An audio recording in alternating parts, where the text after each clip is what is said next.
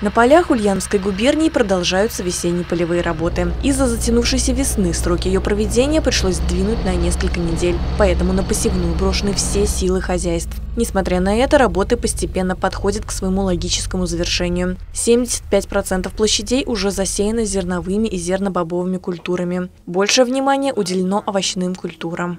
Одни из передовиков по проценту засеянных площадей – хозяйство «Агротех» в Старомайнском районе. Так называемый борщевой набор – лук, морковь, капуста, свекла – уже высажено на площади в 40 гектаров. Осталось досеять картофель. Учитывая то, что у нас картофель и овощи, нагрузка большая, поэтому у нас в хозяйстве 8 тракторов.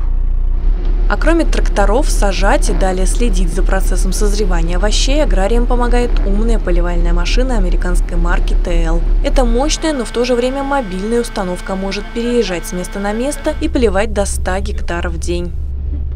Непосредственно после посева мы можем сразу включить поливальную установку и э, полить то количество площади, которое мы непосредственно обсеяли по, по секторам. То есть, допустим, закончили один сектор э, лук, морковь, сразу его полили. Значит, за это время мы успеваем высеять капусту на один сектор, например, и так по кругу дальше. В целом по региону картофель высажен на площади в 670 гектаров. Для проведения полевых работ сельхозпредприятиями области закуплено 59 тысяч тонн минеральных удобрений. Готовность техники стопроцентная.